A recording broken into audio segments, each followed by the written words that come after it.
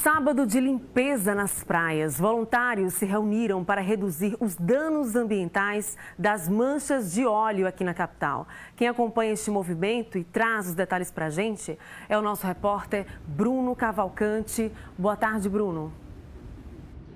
Oi pessoal, boa tarde para todo mundo. A gente está aqui na praia da Cinelândia, uma das praias que foram afetadas com as manchas de óleo e os voluntários chegaram logo cedo. E a gente pode ver isso, vou pedir para o cinegrafista Cleonis mostrar. Os voluntários aqui limpando a praia, esses voluntários que chegaram por volta das sete e meia da manhã e estão limpando essa parte aqui da praia da Cinelândia. Eles pretendem ficar aqui até o fim da tarde. Vou conversar aqui com o representante do movimento Praia Limpa, que é o Luan. Luan, boa tarde para vocês. Desde a semana passada vocês estão fazendo isso, essa parte de vocês colaborando para tirar né, manchas aqui da praia da Cinelândia. Né? Então, estamos diante de um momento estável onde os pareceres que são emitidos, infelizmente, acabam se moldando com o passar do tempo.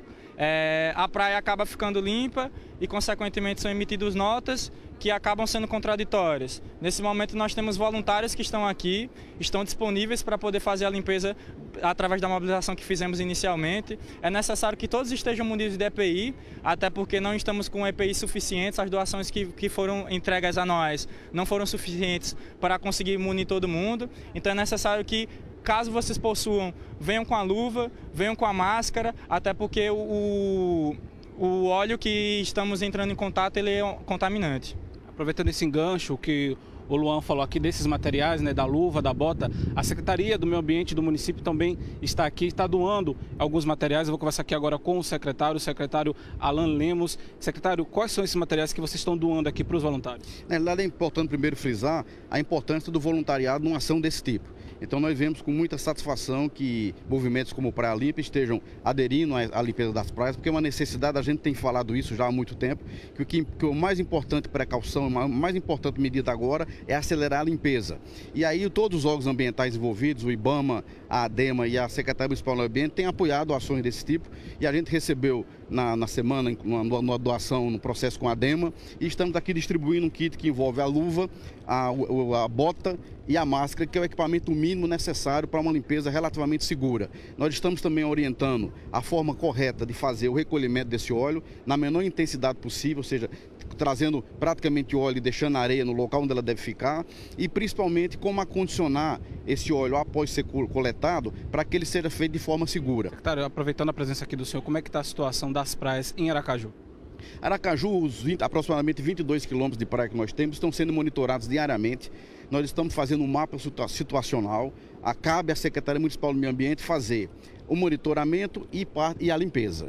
É, os outros órgãos envolvidos, o IBAMA e a ADEMA, têm tarefas diferentes, mas com relação às praias de Aracaju, o processo de limpeza tem sido continuado. O que ocorre é que há essa, esse retorno de óleo, não é possível identificar com clareza se é óleo novo ou se é óleo retornado, provavelmente óleo retornado ou de uma praia mais ao norte que não limpa vem para cá.